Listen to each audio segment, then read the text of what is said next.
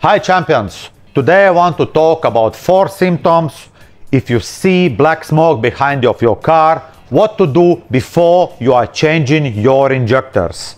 Coming right away. First of all, we need to check our air filter.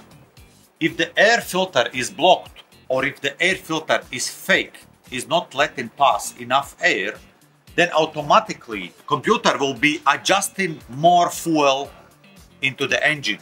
So this one need to be checked first of all. Sometimes you take it out and you think it's okay, but look at this. This air filter already must be replaced. If the air filter is blocked, then automatically ECU will adjust more fuel and you will see your black smoke from your exhaust. So this is first suspect, need to be replaced every 10,000 kilometers.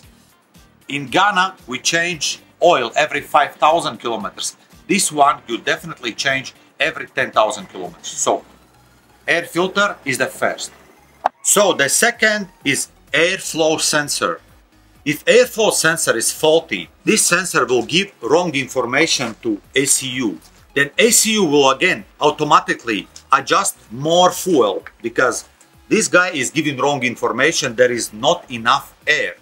Then it will automatically increase the fuel to, to get some power. So airflow sensor is the second what you check. But this one you cannot check with the naked eye like this. You definitely need to go to qualified diagnostic center and plug it computer and the computer will definitely tell you if this sensor is faulty or not. But this sensor can give you symptom black smoke, what looks exactly like faulty injectors. So my third is EGR filter. If EGR filter is blocked, it will also show the same symptom, black smoke. That one also, you can check it with a professional workshop who can test if EGR filter is working or not. But definitely he will show you exactly same symptoms, what looks like spoil injectors, black smoke. So, and my fourth is fuel filter.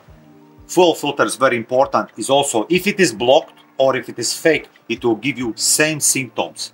Then please change your fuel filter before you are touching injectors and see what happens because it can also give you the same symptoms. Black smoke lack of power very similar like when the injectors are faulty. So fuel filter. When everything is done when you do your maintenance correctly enjoy your car. You are